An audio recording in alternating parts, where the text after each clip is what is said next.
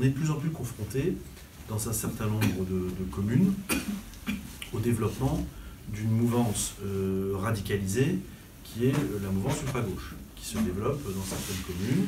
Euh, donc ce qu'on appelle ultra-gauche, hein, c'est une, ce sont les anarcho-autonomes, ça peut être l'ultra-gauche des partis du, qu'avant on disait qualifié d'extrême gauche, maintenant on dit ultra parce que ils ont des modes d'action qui sont de plus en plus euh, violents.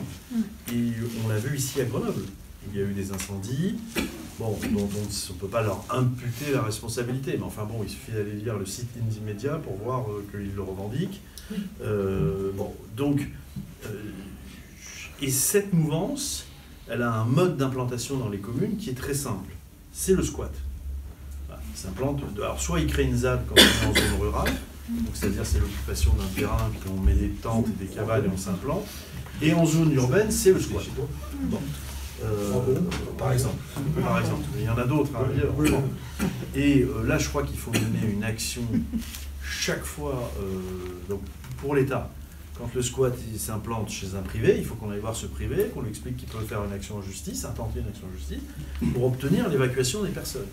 Euh, parce que si vous laissez un squat s'installer, euh, vous, savez que vous allez avoir un, point de fixation pour les individus de la mouvance, dont ils vont rayonner pour aller commettre euh, un certain nombre d'actes. Il y a des actes qui ne restent que politiques, hein, attention. Il y a quand même parfois aussi des actes un peu plus violents.